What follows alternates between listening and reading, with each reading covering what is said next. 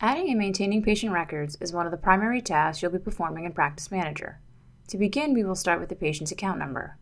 Every patient has a unique account number by which that patient's information is tracked throughout the entire system. From the account number field, you essentially have three options. You can create a new patient account, look up an existing patient, or activate a patient who is added via the appointment system and has a temporary account number. Now let's start by creating an account number for a new patient record. To do this, simply type the letter A and then press Enter. This tells the system to use the next available account number for this new patient. After typing A and Enter, all of the fields of the patient screen will open, allowing you to enter the new patient's information. In some instances, however, you may need to look up an existing patient's account. To do this, click on the magnifying glass icon.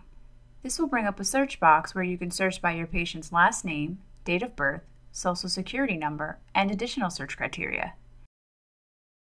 Once you've entered your search criteria, press the Find button and then double click on your patient's name from the results window above. Once you double click, your patient's account will now be open in the Patient tab.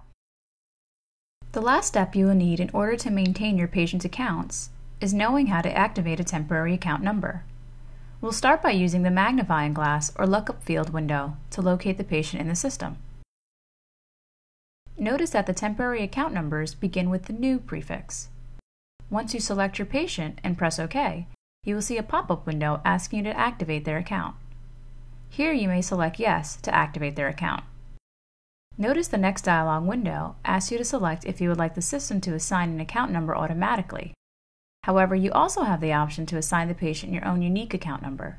Whichever your preference, you can make your selection and click Activate Now.